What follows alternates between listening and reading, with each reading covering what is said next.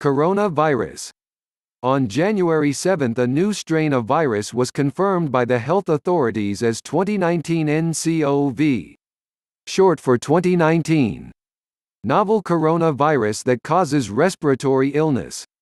The virus resembles as crown and called coronavirus. The virus originated in the central Chinese city of Wuhan in Hubei last year and has spread to other Chinese cities. A new strain of virus that appears rapidly and crossing borders including Shanghai, Beijing, South Korea, Japan, some parts of Asia, United States and Europe. Chinese health authorities still trying to determine the source of the virus, they are looking possibilities that might came from snake or bat where the seafood market in Wuhan sold wildlife meat.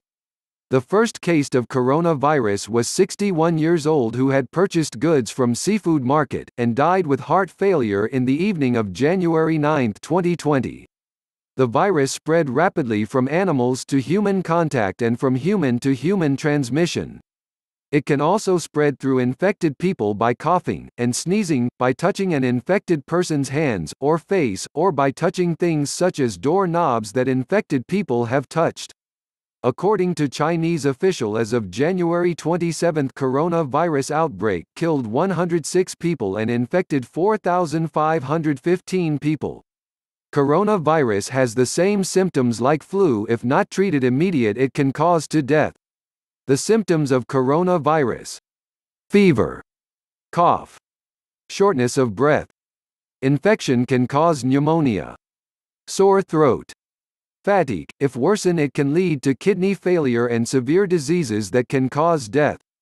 To prevent from infecting coronavirus, wash your hands often with soap and water. Stay away from crowded places.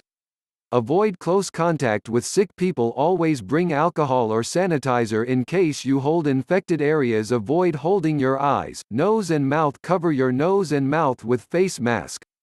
Avoid close contact with anyone showing symptoms of respiratory illness such as coughing and sneezing. As of the moment there is no cure yet of the virus but you can boost your immune system by proper exercise, eat healthy foods always remember preventions is better than cure if you like more videos please comments like and subscribe and healthy food, always remember, prevention is better than cure.